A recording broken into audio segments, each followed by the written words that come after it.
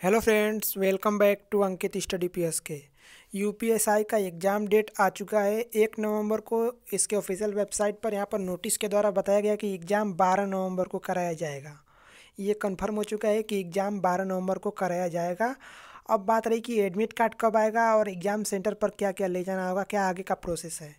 तो देखिए friends admit card जो है आपका, वो भी जल्द आएगा। उसकी डेट नहीं होती है, वो एग्ज़ाम से एक सप्ताह पहले आ जाता है। तो बारह को एग्ज़ाम है तो आपका जो एग्ज़ाम है एडमिट कार्ड है, वो पाँच या छः तारीख के आसपास रिलीज़ कर दिया जाएगा। हो सकता है लेट भी कर दें, क्योंकि एडमिट कार्ड आने के बाद सेंटर पता चल जाता है, जिसके कारण से वो, परेशानी होती है छात्रों में।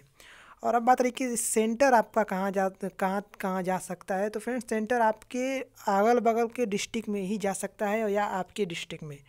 और एग्ज़ाम सेंटर पर क्या क्या ले जाना है? तो देखिए, आपका सबसे पहला एडमिट कार्ड रहेगा, फिर आपको एक आईडी ले लेनी है, आधार कार्ड, वोटर कार्ड, कुछ भी, और उसके बाद आपको पेन ले लेना है, मास्क ले लेना है, फिर सैनिटाइज़र और कोरोना के नियमों का फॉलो, पालन करना है, और इसके अलावा आपके एडमिट कार्ड पर लिखा होगा कि आपको क्या क्या ले जाना है। तो उम्मीद करता हूँ वीडियो आपको पसंद आई तो लाइक करके चैनल को सब्सक्राइब कर लीजिए, क्योंकि एग्ज़ाम होने के बाद जब एडमिट कार्ड आएगा, मैं आपको तुरंत वीडियो के द्वारा नोटिस दे दूँगा।